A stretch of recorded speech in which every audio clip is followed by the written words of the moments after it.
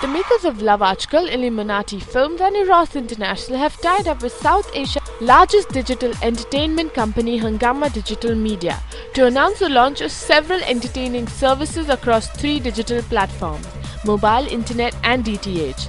Saif sounded excited while Imtiaz Ali had words of praise as well.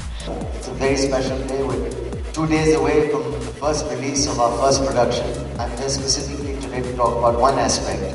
Uh, which is the presence of the three digital mediums which we've concentrated on uh, to promote our film.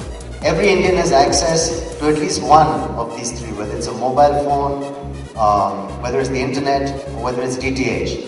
And I think with uh, with Bollywood Hungama, we have we've made an exceptional tie-up because it's a really marvelous way to reach out to so many people. Uh, we've organized contests online.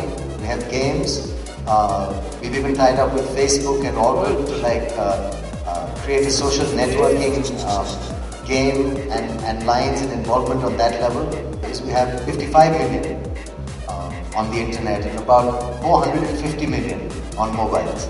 And the response has been overwhelming and I'm very happy to uh, be here and be a part of this. So I was very proud to get the opportunity play uh, a scene character. Okay, I think we were. I, I, I felt that uh, I looked good, uh, and um, I really enjoyed it.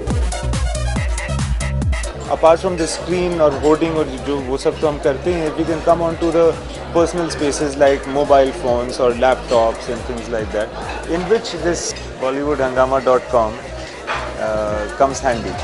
The film also stars Deepika Padukone in the lead opposite Saif Ali Khan and is all set to release this week.